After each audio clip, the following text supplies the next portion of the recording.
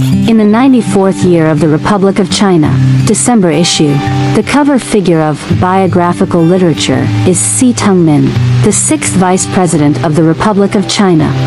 In this remarkable issue, Editor-in-Chief Cheng Luqian wrote in the editorial office note like this. In this issue, another featured figure, Professor Fan Chuanpo, and Xie Dongmin, though they have many differences, share several coincidences. Both have received education in Japan, are connected to Sun Yat-sen University in Guangzhou, and have ties with National Taiwan Normal University. Professor Fan Chuanpo, a mathematician, dedicated his life to education. Besides teaching, he also took the lead in editing mathematics textbooks at all levels. This year marks the centenary of Mr. Fan's birth, and we extend our highest respect to this pioneer of mathematics education in Taiwan. Next, let's step into the story of the pioneer in mathematics education in Taiwan, Professor Fan Chuanpo's story.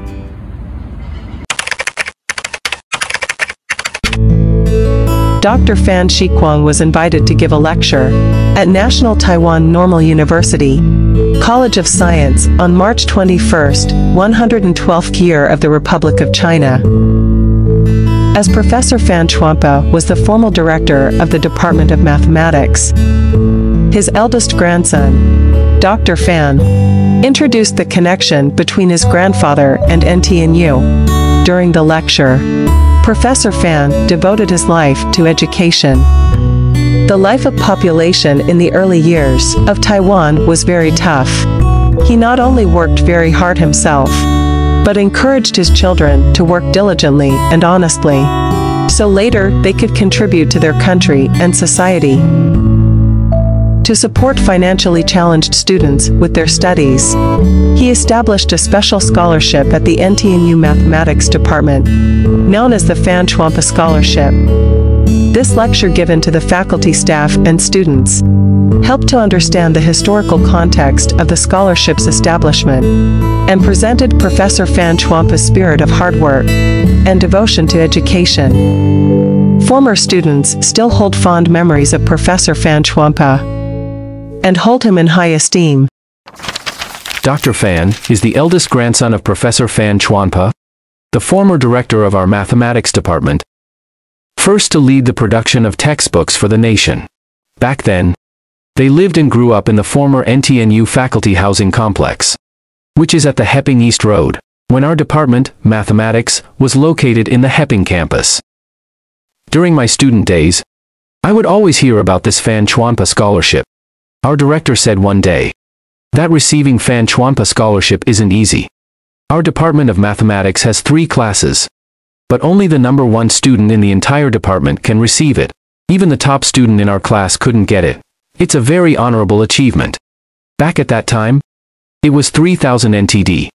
So why was 3000 NTD so significant? Because our government stipend was just over 2000 NTD. A little over 2000 NTD.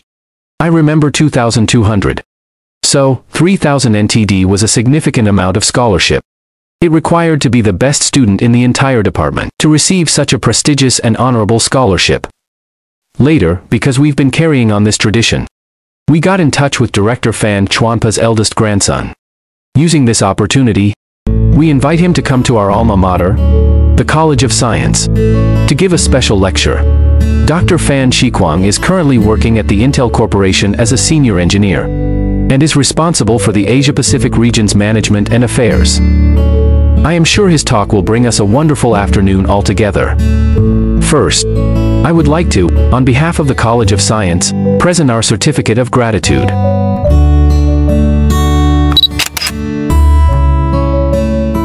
Today, I'm very pleased and honored to have this opportunity to come here. Or it should be said, to Homecoming for NTNU to share and exchange some of my past experiences. My family and I lived and grew up in the NTNU's faculty housing complex. Therefore, for us, the NTNU has a significance to our life that is hard to describe. We also take pride in being offsprings of NTNU. I would like to talk about my grandfather. Professor Fan Chuanpo's accomplishments and journey. Because among us here aside from a few senior faculty members who lived through my grandfather's era, perhaps, to some young students, it's just a part of history of the College of Science. In fact, during that turbulent times, there are some memorable stories worth reflecting on. Before talking about my grandfather's journey, let me share with you what the former president of Peking University, Mr. Tsai Yuanpei's idea for education. At the university, those who study literature, history, philosophy or applied science, must all start with basic science. Therefore, the academic organization of Peking University has followed his direction since then. Thanks to the president Tsai Yuanpei. At that time, each of Peking University's departments underwent significant reforms. Basing on this concept, he made the Department of Mathematics into what's known as the first category's first discipline. To highlight the idea that mathematics is the mother of all sciences. Why are we talking about Peking University? Because my grandfather, Professor Fan, graduated from Peking University. When he was young, he traveled from his hometown in Liaoning province, northeastern China, to Beijing to take the exam. Back then, he passed the entrance exam for the mathematics department of Peking University, the number one university in China. This marked the beginning of his academic career, and a period of growth in Beijing. During his studies at Peking University, the renowned poet of the early Republican era, Xu Zhimo, was appointed as professor. Xu Zhimo, with his experience of studying in the United States and England, brought a spirit of freedom to the university and fostered a broader and more international academic perspective. Professor Fan was fortunate to experience that era of the country's vigorous development. This also inspired him to study abroad after his graduation. After graduating from the mathematics department, he stayed at Peking University for two more years, as a faculty member.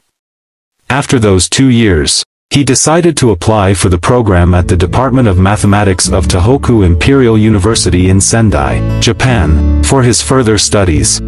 Back then, Tohoku Imperial University was the number one in science, among the seven imperial universities in Japan. Professor Fan's time at Tohoku Imperial University gave him the opportunity to observe the research attitudes of world-class scholars.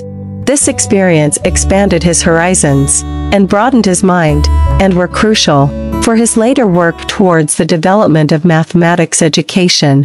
After the outbreak of the First and Second Sino-Japanese Wars, Chinese students studying in Japan faced a dilemma of whether to return or stay. The Chinese students, presenting exceptional talents like Professor Fan, and coming from the northeastern China, the so-called Kanto region, were encouraged by the Japanese government to stay to contribute to Japan's future development.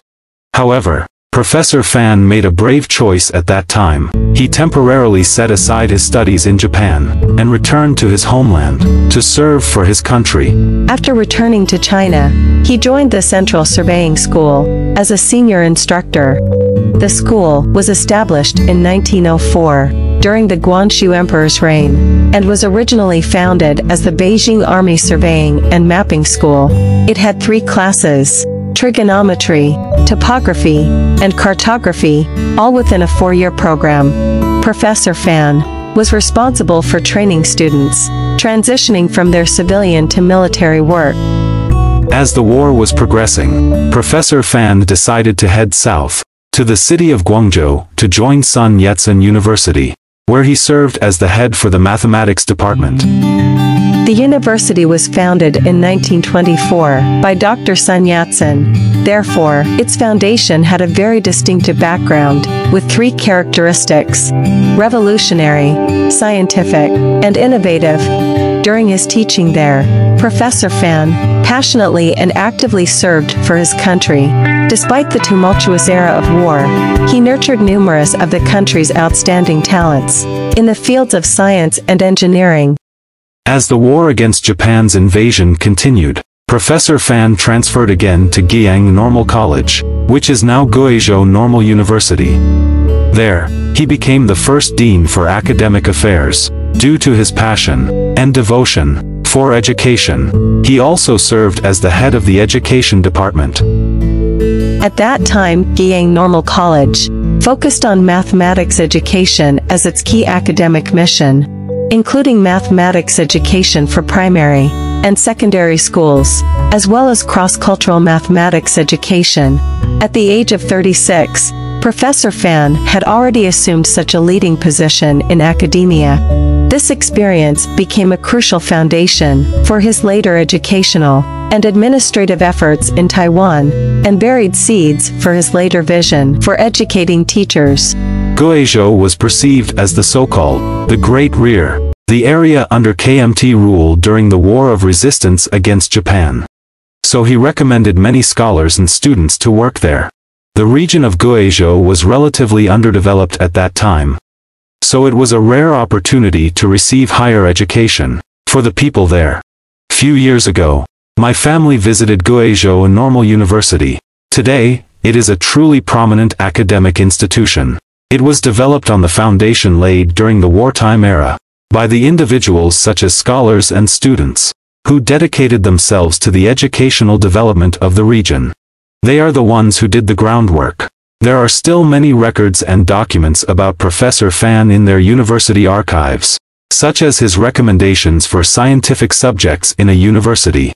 By the end of the Sino-Japanese War, my grandmother and some family members were still remaining in northeastern China. Eventually, Professor Fan left Guiyang and returned to the northeast region to reunite with his family. Motivated by his mission for his hometown's educational development, Professor Fan joined the Northeastern University in China as the head for the mathematics department. Back then, in 1931, the Mukden incident happened amid the fires of the Sino-Japanese War. Despite that, he maintained working at the university, contributing to the university, which has achieved such outstanding academic status today. It would be easier to look at the map. He traveled from Beijing to Japan, then back from Japan to Chinese Guangzhou, then to Guiyang, Guizhou, and then, back to Shenyang in northeastern China, and he finally arrived in Taiwan. At the end of the Sino-Japanese War in 1945, the nationalist government of the Republic of China decided to move to Taiwan, and to take over the relevant institutions. At that time, Professor Fan was instructed to come to Taiwan to take care of the two educational institutions on the island. One was Taihoku Imperial University, known as today's National Taiwan University, and the other was Taiwan Taipei High University, which is now our National Taiwan Normal University. In the 1930s and 1940s, only the extremely few had the chance to receive higher education. Therefore, the scholars who taught at universities were the most prominent and respected intellects. In the beginning, Taiwan only had two universities with mathematics departments, NTU and NTNU. With his knowledge and enthusiasm for mathematics research, as well as abundant experience in education, Professor Fan also later engaged in teaching at other academic institutions, such as National Chiao Tung University and Fu-Jen Catholic University. He became the pioneer in the field of mathematics education in Taiwan. At that time, Mr. Fan was also a professor in the Department of Geology and Oceanography at National Taiwan University, and served as the principal secretary for the Institute of Oceanography. Among the research projects he participated in, there was one where he led an expedition aboard the naval vessel Zhongyi. They headed to the Nansha Islands, at South China Sea, including the well-known Taiping Island, to do land surveying and hydrological recordings. The Zhongyi vessel had to return to Taiwan in due time. At that turbulent political situation, Professor Fan took only one assistant with him remained on the island to continue their work and investigations. That was a very adventurous act, considering the difficult circumstance. Driven by his sense of duty towards the nation and passion for work and education, he didn't hesitate to stay until the next vessel came to pick them up. This research expedition and its details are well documented, in both China and Taiwan by relevant authorities. So, we have been clearly confirmed that, the Nansha Islands and Taiping Island belong to the Republic of China. It is just due to these pioneers working bravely during that turbulent times. Around 1945 to 46, Professor Fan came to Taiwan to supervise two universities' transition, and that's when he joined our National Taiwan Normal University. He was the formal director for the mathematics department, first to lead the production of textbooks for the nation. In that era of restoration and development, Professor Fan and other enthusiastic and aspiring scholars worked for many universities in Taiwan, such as National Chiao Tung University and National Tsinghua University, or some historically significant institutions like Fu-Jen Catholic University, in order to cultivate as many future talents as possible. Professor Fan received a number of national honors and awards, and was officially received by provincial chairman and the president of that time, who recognized his achievements. These accomplishments and honors were closely tied with National Taiwan Normal University's College of Science, and the Department of Mathematics. This is a photograph of my grandfather who was holding my sister, Professor Fan Patron of National Yangming Chiao Tung University, they are surrounded by the faculty members of the mathematics department of that time. The photo was taken in front of the earliest NTNU faculty housing.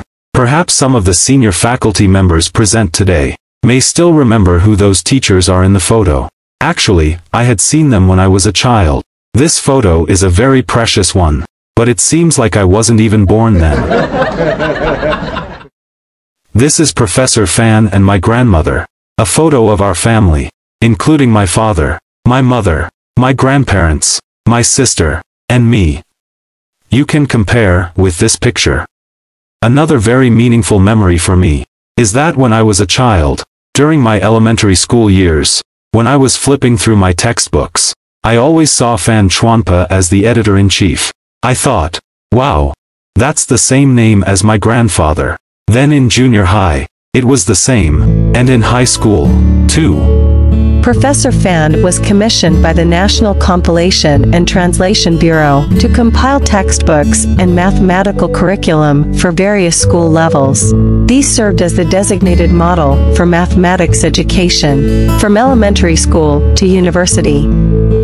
What Dr. Fan said, from elementary, junior high, high-end vocational school, to university textbooks, it was all Professor Fan's leadership. He led the rest of the Taiwan domestic mathematics community, set a model for the still young mathematical academic environment at the time. That said, the mathematics textbooks he compiled laid the foundation for mathematics education in Taiwan. In the photo presented now, we can see that many teachers and senior faculty members have participated in the creation of these Taiwanese series of textbooks for mathematics education. Professor Fan also assisted his Peking University classmate, Li Yingzhou, and his wife Bao Deming, with the founding of Mingchuan University. Originally, it was called Mingchuan Women's Business Vocational School, and was the earliest female business higher education institute in our country. Today's Ming Chuan has been developed into a comprehensive university for both male and female students that has cultivated many business talents for Taiwan. Professor Li Yingzhou, the chairperson, was my grandfather's classmate at Peking University. Professor Li Yingzhou and his wife, President Bao Deming, wanted to establish a business college, primarily for women. They contacted Professor Fan, in hope for working together to establish this distinguished and ambitious college. So, after retiring from NTNU, Professor Fan went to Ming Chuan University, where he became the first dean for academic affairs. This is a photo of Professor Fan's birthday. That day, President Bao Deming threw a birthday party for him. Professor Fan dedicated his whole life to education. He has been doing that for over 40 years. He had cultivated numerous mathematical talents in Taiwan. He laid the foundation for mathematics education in Taiwan and facilitated the development of this field for the following decades. Without a doubt, it can be said that his influence has been far-reaching.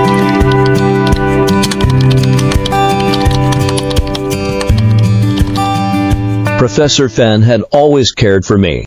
After I graduated, I came back to work as a teaching assistant for him. In the second year, Professor Fan became the chairman for the department. and he designated me as the chief for general affairs. Professor Fan ever said, Master leads to the door. Self-cultivation comes from within. Professor Fan used to say. Yes, he often mentioned this to us students.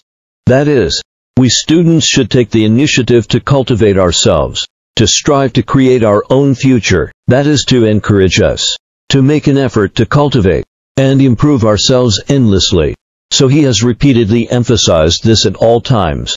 He is also Professor Fan's student. He also has heard about this. The Master leads the way, but the self-cultivation lies within us.